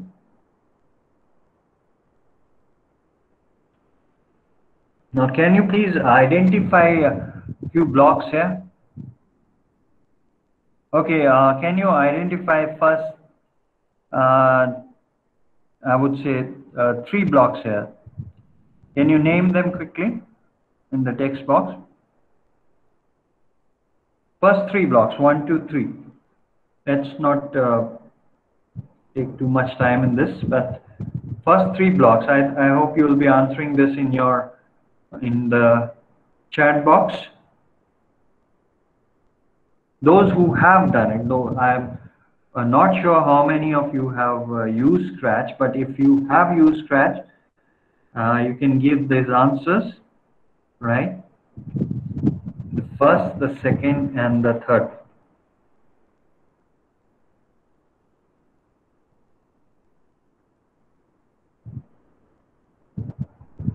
Okay, now let me quickly uh, show you how the third version works, right? Version 3. I'll be resharing my screen with you. Just give me a moment. Okay, one of the teacher has answered addition, division, and if then. Ganeshwari. Yes, ma'am. It's correct. Correct. Very correct. So you have identified the blocks correctly. Now let me give you a, again a small demo of the version 3. Please hold on. I'll be resharing my screen.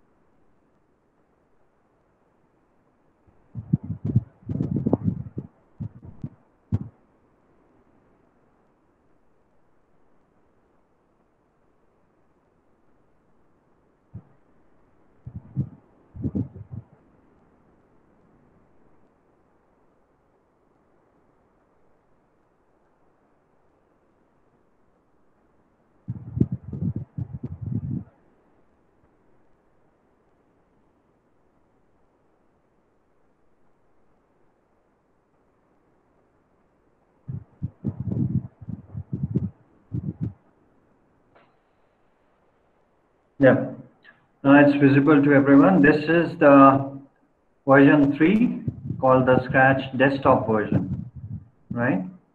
And let's see what uh, the additions made here. This again is the block area. We know that uh, for Scratch programming, we have to place this, drag and drop this in the script area, right? So you can place different blocks one after another right?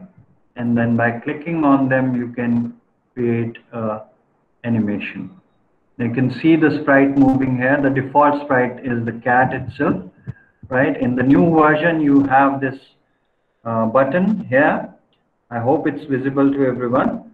This is used for deleting the sprite. So you can directly click here on this bin and you can delete the sprite. For addition, you have this choose a sprite button placed on the right hand side bottom, right? So you can search, choose a sprite, click on choose on sprite, choose a sprite, and here are the new sprite in this version. A lot many have been added. If you have used the earlier version, you can see the changes. Some are the old one, but with more clarity, right? You can search for a particular sprite from here, sorry, ball, right? Or you can also search from the category. You can just add any sprite you want simply by clicking on it, click and it will be added, right? And then now in the new version, you also have this facility, easy facility now. It has been uh, updated, upgraded. So easily now you can add a backdrop also. So click on choose a backdrop and let's choose a backdrop for the sprite. Right? So simply now it has become more easy. Okay, so you can handle properties also from here from the properties panel, right? You can change the size of the sprite simply by uh, adding values in the sprite uh, in the size box okay you can change the direction that's very important of the sprite you do not wish to change it. You can click here and can move it. Now you i hope you can see here that the direction of this sprite beer has changed from left to right. What i mean to tell you is things have become more easier now more easier now right in the latest version. And uh, yes of course now a few changes also have been made. That is if you click on the extension button earlier the blocks like pen and all were available here in the blocks menu but now they are not available. They are available as an extension in version 3 for using the pen blocks use this add extension button and you can use the pen extension from here. If you want to use some uh, additional features have been given like this is an additional uh, feature extension is added to this version. It's called text to speech. Right? So you can click here and you will have this text to speech. Place the block here and uh, you can write any dialog you want to write. I'm writing hello, how are you? Not right? You can click on it. Hello, how are you? I hope you can hear. Hello, how are you? Right? So this is basically text to speech. You can even set the voice tone using the set voice 2. Now we can change it. So let's say uh, giant. Click Hello, how are you? Sorry, one more time we'll play.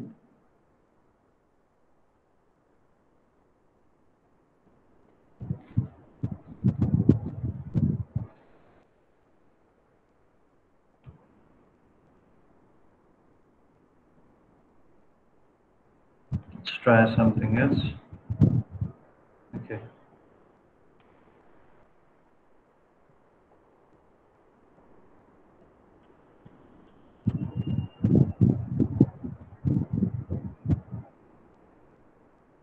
Hello. Right? You Hello. can see the voice modulation will Hello. also be changed. Hello. Right.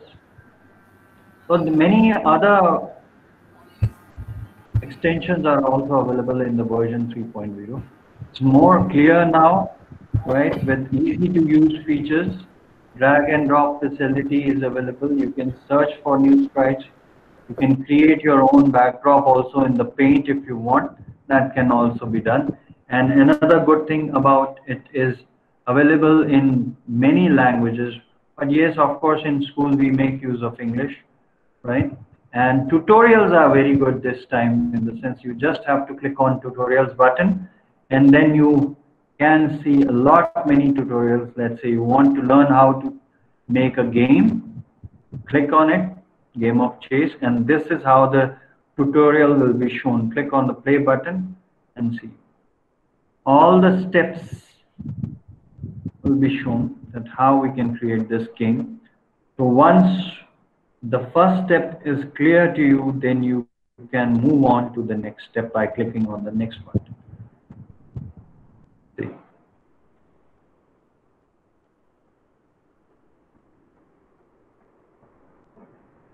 If you're not clear with the previous one, you can move to the previous. Then you can keep moving.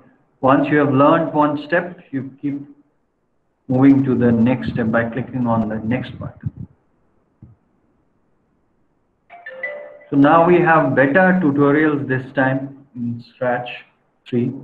So I would recommend that you make use of this uh, version now. But in books, I think still it's in 2 point, uh, version 2. So maybe not to contradict it, it's always good, whatever is given in the books. But now soon we KIPS is releasing new series. So in the new series, we will be making use of version 3 for you, right? And rest is all about uh, how we can save the files. We know it well and how to load, load it. Now already there in the earlier version, I don't think so. It won't be right for me to tell you how to save it because being teachers, you already know it well, right? So this is all I have uh, for Scratch, right? I told you uh, why Scratch is important, why CBSE has inducted, how it helps in teaching uh, programming concepts to the students. We also saw uh, the difference between the three version, version 1, version 2 and version 3. We also looked at some of the features that have been added, new features that are added to Scratch 3.0. In our books, we were using version 2 in the previous book, but now this year we'll be using 3.0. So now you in our books, you'll be receiving Scratch chapters or content in 3.0, right? Yeah. So thank you, everyone. Uh, this is all I had, Father, for uh, cyber safety and. Uh, On behalf of Mar Basilius Vidya Bhavan, I would like to extend my heartfelt thanks to His Grace, Dr. Joseph Mar Dionysius, Manager Bishop, for his presence and blessing. I appreciate the effort of Father Dr. Joshi Varghese, our DEO, for arranging a series of webinars for the benefit of all the teachers of MGM Group. I specifically thank the resource person of today's webinar, Mr. Abhay Dogra, for wonderfully presenting today's subject in a simple and effective manner. The teachers truly appreciated it. I would also like to utilize this opportunity to request the management staff and the principal to organize a webinar on MS Office. We, the teachers of MBBB, believe that better understanding of MS Office will allow the teaching staff to create worksheets, question papers, and other academic files with relative ease and comfort. This will further help the teachers to maintain smooth transition to online teaching. Once again, I thank one and all for making this webinar. Thanks.